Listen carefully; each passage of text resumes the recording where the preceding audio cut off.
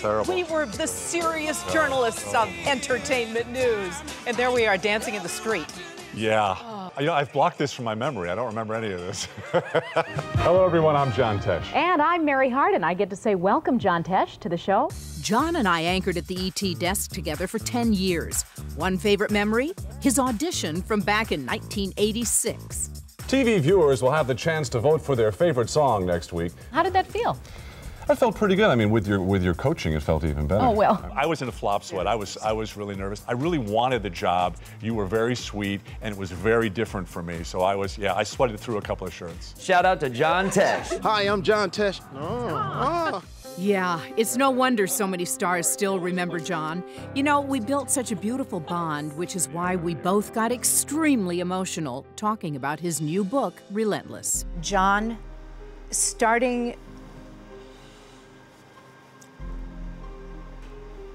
it brought tears to my eyes. The first chapter of your book, I had not known until just before I read the book that you had gone through this very, very serious battle with cancer.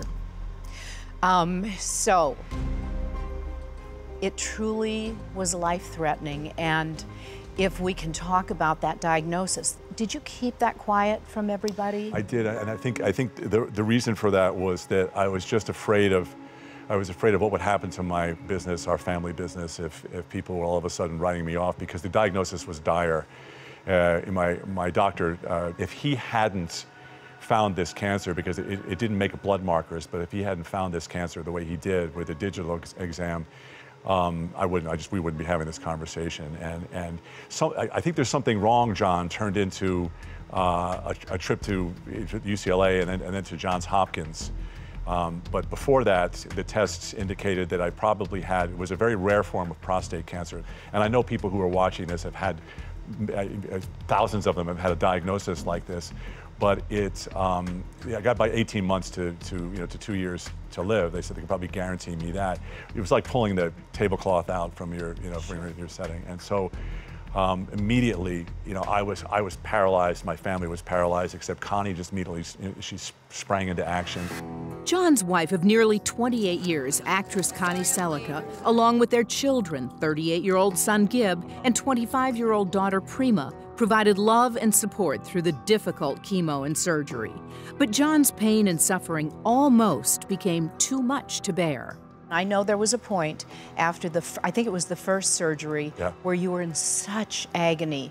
You just, you and Connie were holding hands at your hospital bed and you said, please kill me, just kill me. I had, I had complications and they, um, they, uh, the nurse came at me with, a, with, a, with an NG tube, a nasogastric tube. And and they stick this tube in your nose because they have to pump out your stomach. And there was blood pouring from my nose, and, and I was in so much agony, so much pain. And, and, and I, we, we, looked at, we looked at her, looked at each other, and, and that, was, that was exactly what I said because it just, I, I, just, I just had enough. If they hadn't been fighting for me, I, I would have taken the kettlebells in my backyard and strapped them to my ankles and jumped in the pool. I, I thought about it. And then you're, you're, you're crying and you're feeling sorry for yourself, and then you go and you get chemo, and next to you is a kid who has six more lines in their arms than you do, who's eight years old, you know, and then you start feeling guilty. So suffering is real, and, and I have such respect for it and for people who get on the other side of it. What did surprise me was that you really hit that low point and you rode away on your bike and you essentially yeah, left yeah, Connie yeah, at home and it almost ended. I started drinking too much Scotch whiskey.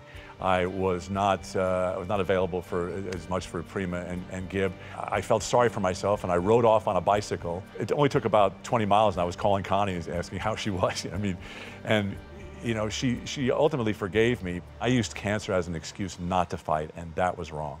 Even after treatment, the cancer returned. It was then that John and Connie turned to their faith and divine healing scriptures.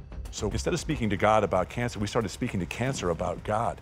And we started, we started manifesting that I would be healed. I was healed not only of cancer, uh, and the testing later proved that, but also healed of our, terrible arthritis in my ankle from, from all of the times I'd broken my ankle. John says he's beaten cancer and hopes his journey can inspire others.